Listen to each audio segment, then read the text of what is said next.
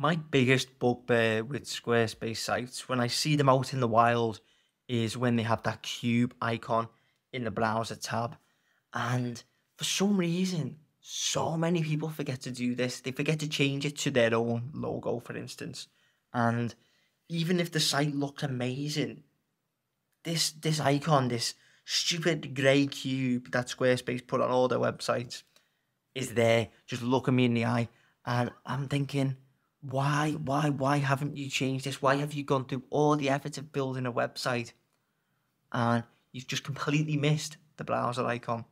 It really, really gets my back up. And on LinkedIn and in Squarespace forums, communities, I've seen people also being like, what are you doing? Why are you not changing this? It's so simple.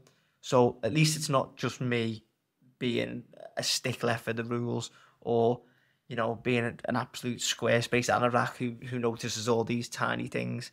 Like, this is a, a known, a well known thing. So, I want to tell you change your browser icon. And I'm also going to tell you how to do it. So, without further ado, let's get into it. So, as I've said, one of the biggest mistakes people make is leaving this stupid cube in the browser icon. And when I go onto a website and I see this, I just think, this is so unprofessional. If you haven't bothered to pay attention to this, then what else haven't you bothered to pay attention to? So it's a super easy fix. If we go into design and then browser icon, this is where we can add our favicon.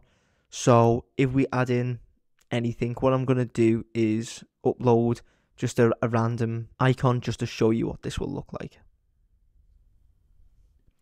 So I've picked something random off the internet uh, and I'm going to upload it now. So we drag and upload.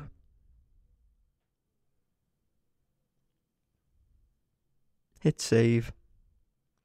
Then we'll give this a refresh.